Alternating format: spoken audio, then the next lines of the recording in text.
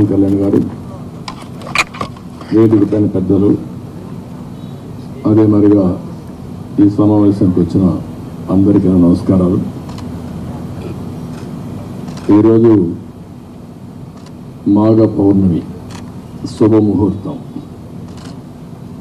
ఆ శుభదినాన శుభముహూర్తంలో తెలుగుదేశం పార్టీ జనసేన పార్టీ రెండు కలిపి ఎన్నికలకు పోవడానికి సిద్ధమవుతున్నాం. ఈ వార్త రాష్ట్రంలో ఉండే ప్రజలందరికీ కూడా ఒక శుభవార్త కావాలని చెప్పి మేము కోరుకుంటున్నాం. పవన్ కళ్యాణ్ గారు చెప్పినట్టు ఈరోజు ఈ యొక్క కలయిక అనేది రాష్ట్ర భవిష్యత్తు కోసరం ఈ రాష్ట్రాన్ని కాపాడుకోవడం కోసరం బాధితరాల భవిష్యత్తు కోసరం ఈ కలయిక కలుస్తున్నాం. అదే మాదిరిగా ఈ కలయికలో భాగంగా ఇద్దరం కలిసి చాలాసార్లు మాట్లాడుకున్నాం. పార్టీ నాయకులు కూడా మాట్లాడుకున్నాం. అన్నీ మాట్లాడిన తర్వాత నూట డెబ్బై ఐదు సీట్లలో ఇరవై నాలుగు సీట్లు జనసేన పోటీ చేస్తుంది. మూడు పార్లమెంటు జనసేన పోటీ చేస్తారు. మిగిలిన సీట్లలో తెలుగుదేశం పార్టీ ఇప్పటికి ఉంది మళ్ళీ వారు చెప్పినట్టు బీజేపీ కలిసి వస్తే ఆ విషయాలు కూడా మాట్లాడుకొని మేము తగిన నిర్ణయాలు తగిన సమయంలో తీసుకుంటాం. ఈరోజు మనం మొట్టమొదటిసారిగా ఏవైతే నిర్ణయించుకున్నామో ఆ నిర్ణయం ప్రకారం తెలుగుదేశం పార్టీ అభ్యర్థులు ఎంపిక చేస్తాం. అదే మాదిరిగా జనసేన అభ్యర్థుల్ని పవన్ కళ్యాణ్ గారు ఎంపిక చేస్తారు. అన్ని ఏరియాల్లో ప్రతి ఒక్కరికి ఒకటి విజ్ఞప్తి చేస్తున్నాం. ముహూర్తం కాబట్టి ముందు మేము క్యాండిడేట్స్ రిలీజ్ చేసిన తర్వాత మళ్ళీ మిగిలిన డీటెయిల్స్ అని మాట్లాడతాం. ఇది తెలుగుదేశం పార్టీ అభ్యర్థుల జాబితా. మొదటి విడతగా ఒక తొంభై నాలుగు సీట్లు మీకు రిలీజ్ చేస్తున్నాను ఇది మీకు పంపిస్తాను. మీ అందరికి డిస్ట్రిబ్యూట్ చేసిన తర్వాత మాట్లాడతాను. ఇప్పుడు పవన్ కళ్యాణ్ గారు మాట్లాడతారు. జనసేన చాలా కీలకంగా ఇరవై నాలుగు స్థానాల్లో పోటీ చేస్తుంది. భారతీయ జనతా పార్టీని దృష్టిలో పెట్టుకొని కూడా జనసేన చాలా కీలకంగా పన్నెండు స్థానాల్లో పోటీ చేయాలని నిర్ణయించుకున్నాం.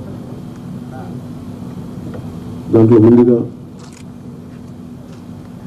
సంఖ్యాపరంగా ఒక ఐదు మంది అభ్యర్థులను ఇరవై నాలుగు నియోజకవర్గాలు ఐదు నియోజకవర్గాలు దానికి సంబంధిత అభ్యర్థుల్ని ప్రకటిస్తా ఉన్నాం.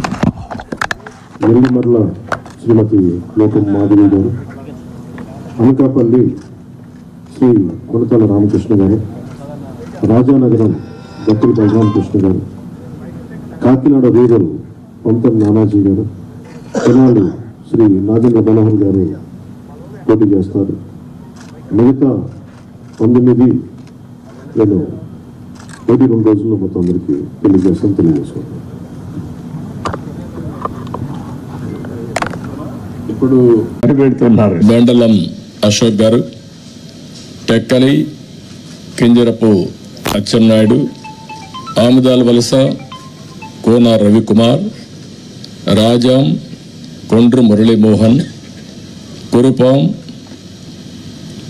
Toyaka Jagadeeswari Parvathipuram Vijaya Bonela Salur Gummadi Sandhyarani Bobbili RSV KK Rangarao Gajapathinagaram Kondapalli Srinivas Vizianagaram Posapati Aditi Vijayalakshmi Gajapathiraju Visakhapatnam east Velagapudi Ramakrishnababu Visakhapatnam west PGVR Naidu alias Gannababu Araku valley Siriveri Donnadora Payakaraopeta Vangalapudi Anitha Narsipatnam Chintakayala Ayyannapatrudu Tuni Yanamala Divya Peddapuram Nimmakayala Chinarajappa Anaparthi Nallamilli Ramakrishna Reddy Mummidivaram డోట్ల Subbaraju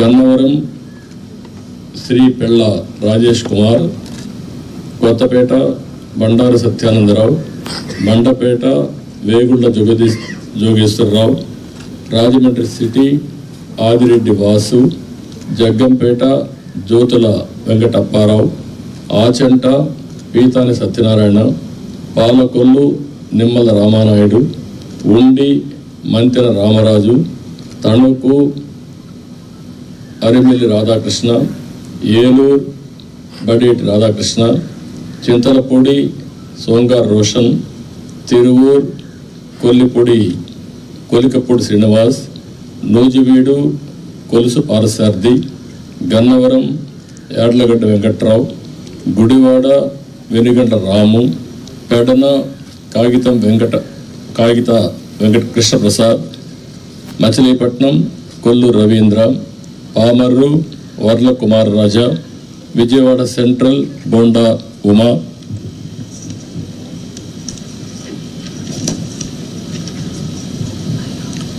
Vijayawada east Gadde Rammohan Rao Nandigama తంగరల Sowmya Jaggayyapeta Sriram Rajagopal Tatayya Tadikonda Tenali Shravan Kumar Mangalagiri Nara Lokesh పన్నూర్ Dhulipala Narendra Vemuru నక్క ఆనందబాబు రేపల్లె అనగన సత్యప్రసాద్ బాపట్ల వేగేసిన నాగేంద్ర వర్మ ప్రత్తిపాడు బోర్ల Ramanjaneyulu తెల్లూరుపేట Pattipattu Pullarao Sattenapalli Kanna Lakshminarayana Vinukonda GV Anjaneyulu Macherla Julakanti Brahmanandareddy Yerragondapalem Guduri election Babu Parchur Eluri Sambasivarao Addanki Gottipati Ravikumar Santhadulapadu Bommaji Niranjan Vijay Kumar Ongole Damarjal Janardhan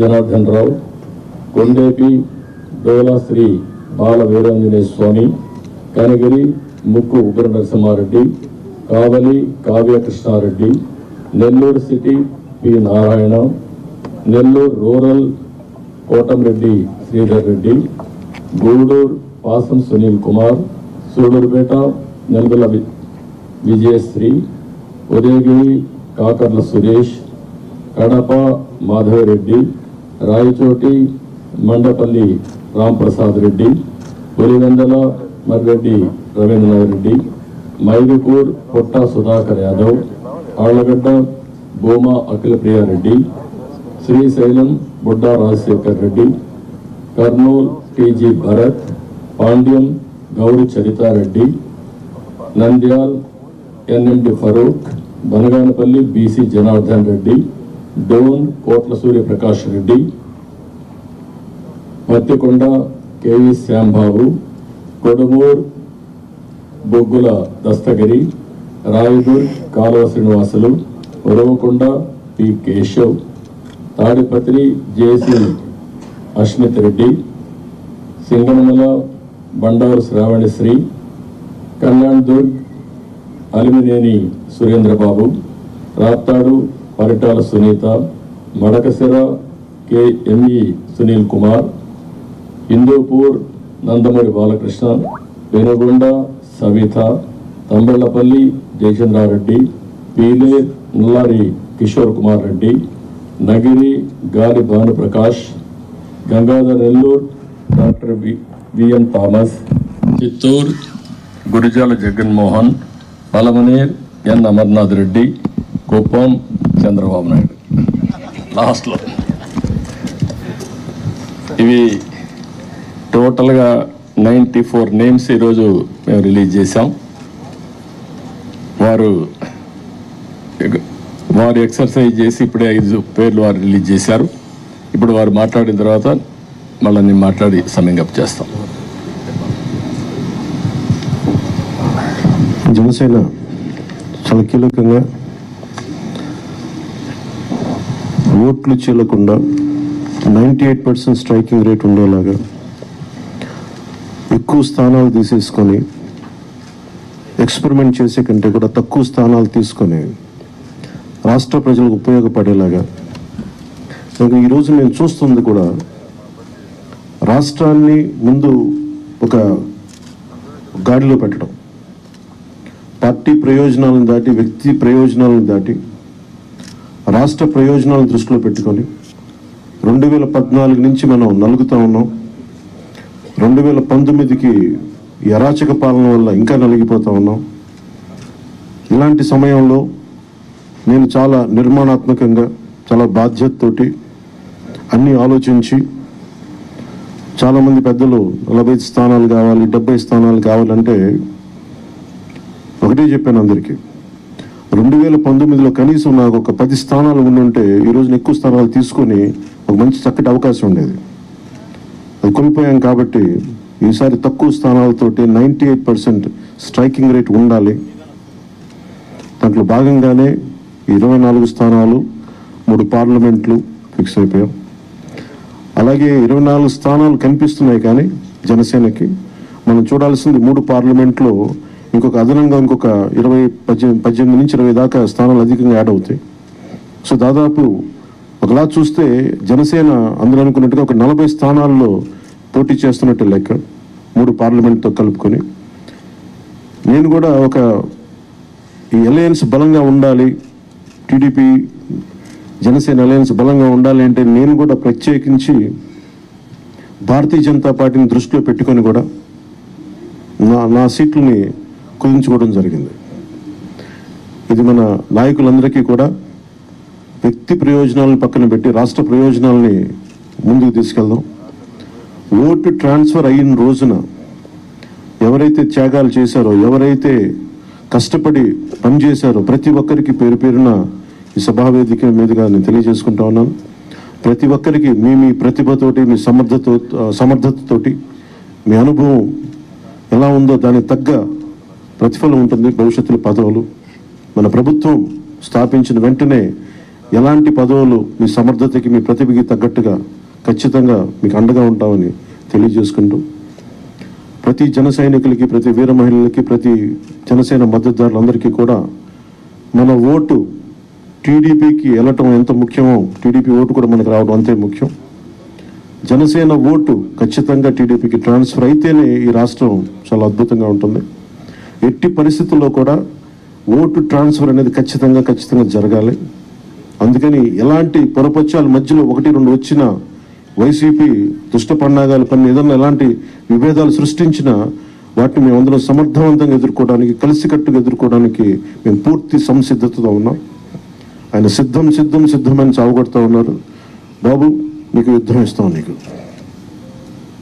అది ఎలా ఎందుకు యుద్ధం చేస్తామంటే ప్రజలు తిరిగి ఆంధ్రప్రదేశ్ని గాడిలో పెట్టడానికి యుద్ధం చేస్తాం నీకు. అయితే మనస్ఫూర్తిగా ప్రజలందరికీ కూడా చాలా శుభదినం. మనం ప్రభుత్వాన్ని స్థాపిస్తున్నాం మనం గెలుస్తున్నాం. జై జనసేన జై టీడీపీ జై హింద్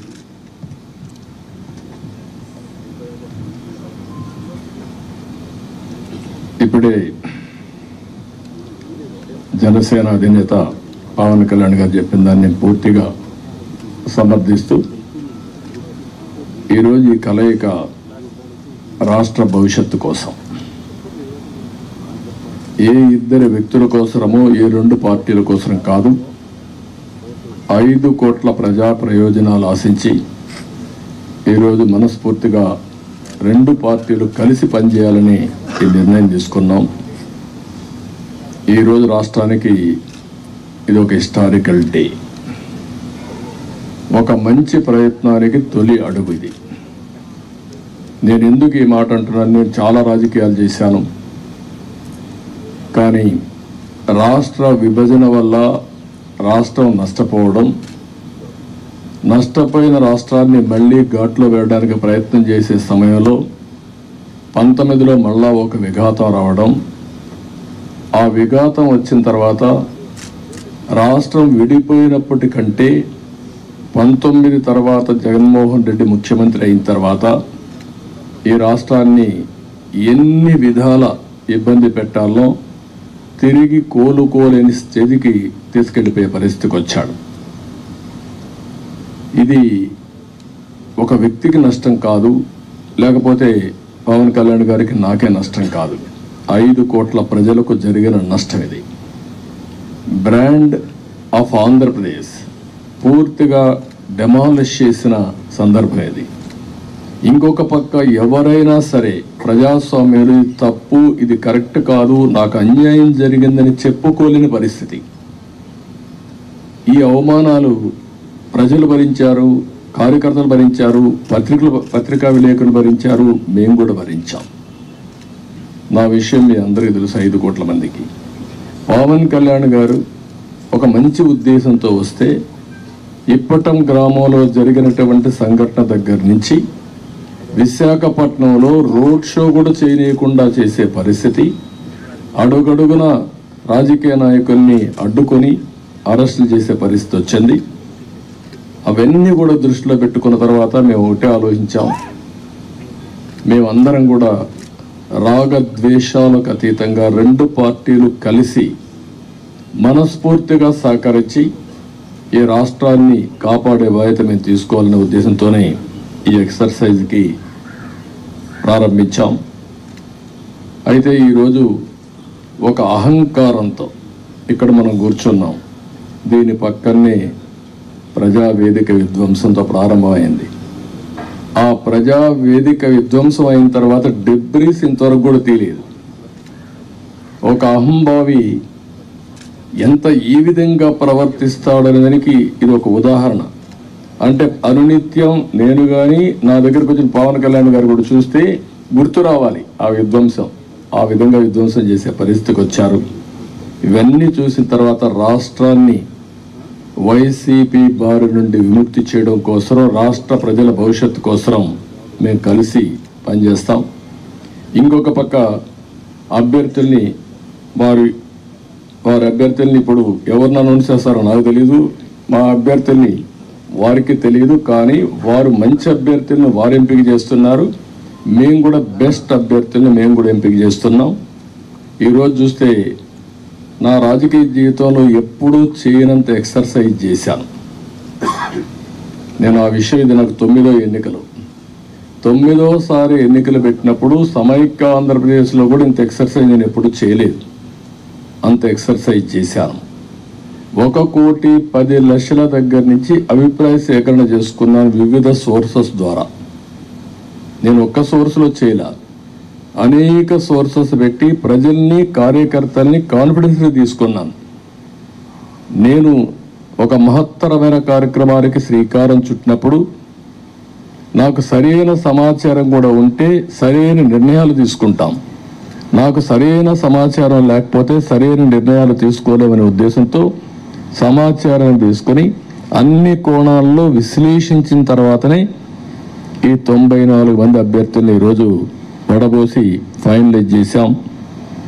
ఇందులో కూడా మీరు చూస్తే ప్రజల మధ్య ఉండే వ్యక్తులు కానీ ప్రజలు కోరుకునేవారు ప్రజల ఆమోదయోగ్యం ఉండేవాళ్ళు సమర్థవంతంగా ఎన్నికల్ని ఎదుర్కొని అవతల వాళ్ళతో పోటీపడే అభ్యర్థుల్ని ఎంపిక చేయడం జరిగింది. ఈరోజు ఈ రెండు ఎక్సర్సైజుల్లో నూట పద్దెనిమిది పూర్తయినాయి. తొంభై నాలుగు మేము చేశాం. వారు ఇరవై నాలుగులో ఐదు అనౌన్స్ చేశారు. మిగిలిన అభ్యర్థులను వారు కూడా ఎంపిక చేస్తారు. మొత్తం కలిసి నూట పద్దెనిమిది మంది అభ్యర్థులు మేము ఎంపిక చేసుకునే పరిస్థితికి వచ్చాం. ఈ అభ్యర్థుల ఎంపికలో తెలుగుదేశం పార్టీ అయితే యువతకు మహిళలకి బీసీలకు అదే మరి యంగ్స్టర్స్కి ఎక్కువ ప్రాధాన్యత ఇచ్చడానికి ప్రయత్నం చేస్తాం చదువుకున్న అభ్యర్థులకు కూడా ఎక్కువ ప్రాధాన్యత ఇస్తున్నాం.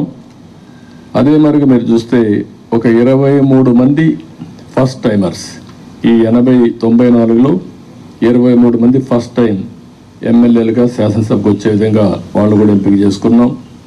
వీళ్ళలో ముగ్గురు డాక్టర్లు ఉన్నారు. రిటైర్డ్ ఐఏఎస్ ఆఫీసర్లు ఉన్నారు. విద్యావంతులు ఉన్నారు. ఇరవై ఎనిమిది మంది పోస్ట్ గ్రాడ్యుయేట్స్ ఉన్నారు. యాభై నాలుగు మంది యాభై ఒక్క మంది గ్రాడ్యుయేట్స్ ఉన్నారు.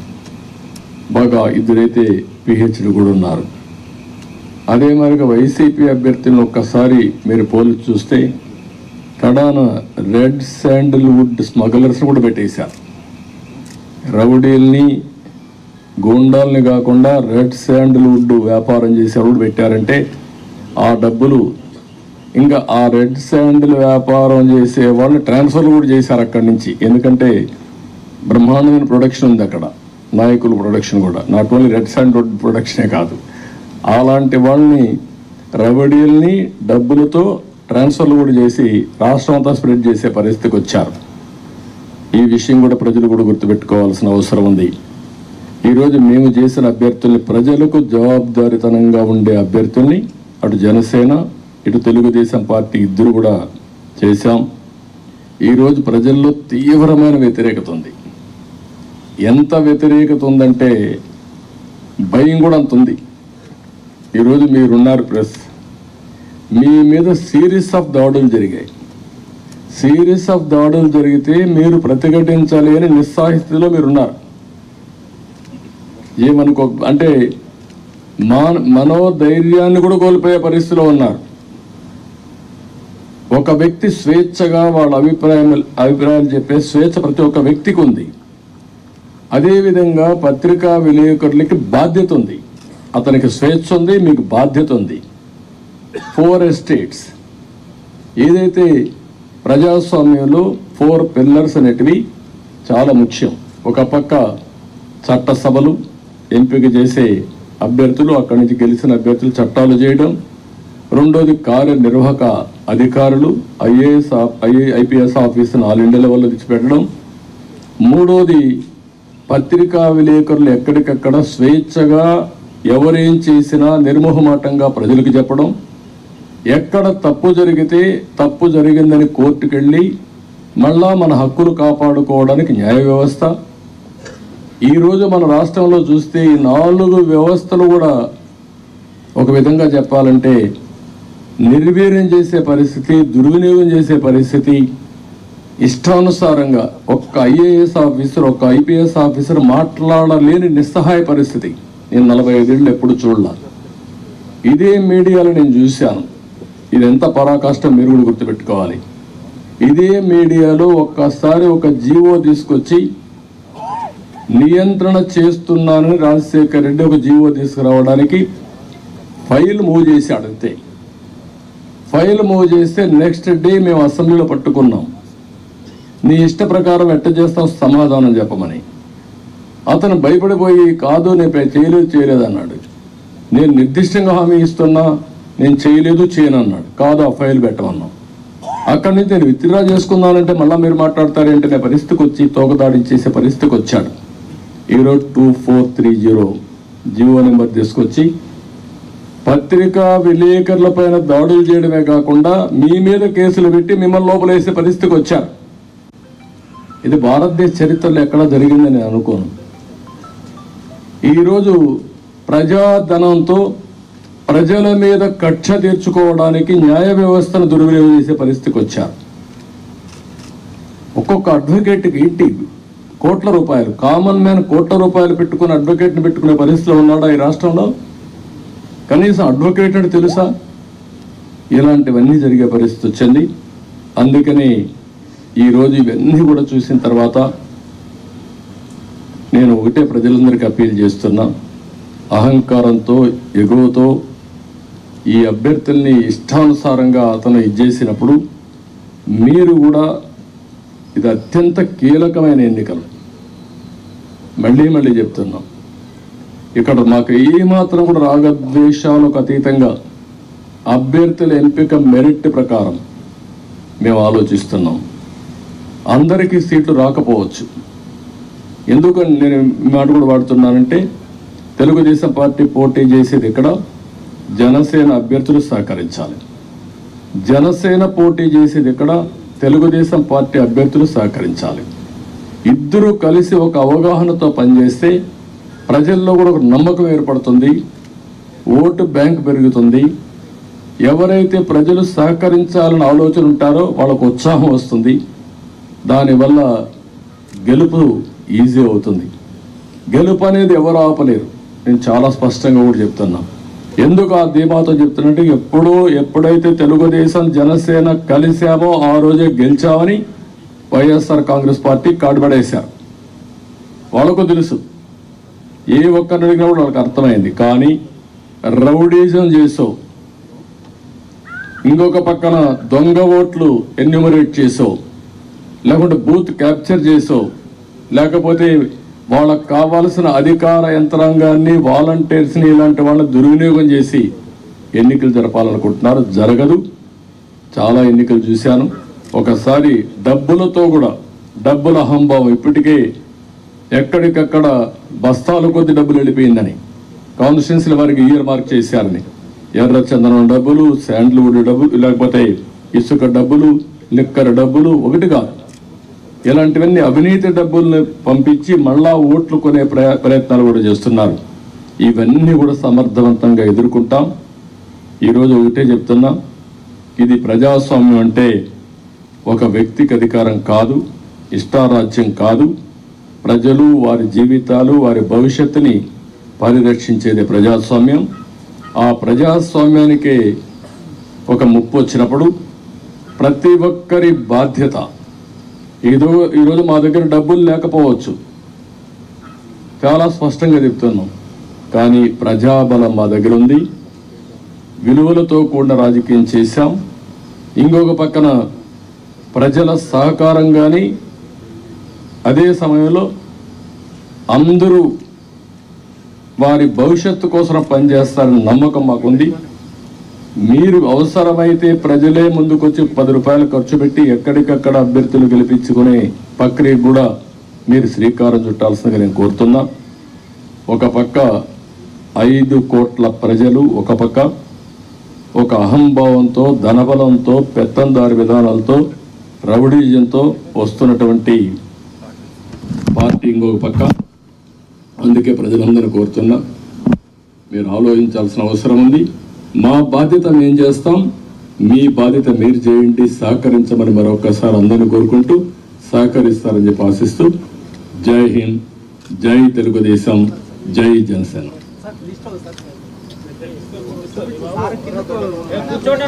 ఏ, కూర్చోండి. కూర్చోండి. కూర్చోండి అన్న అన్న కూర్చోండి. కూర్చోండి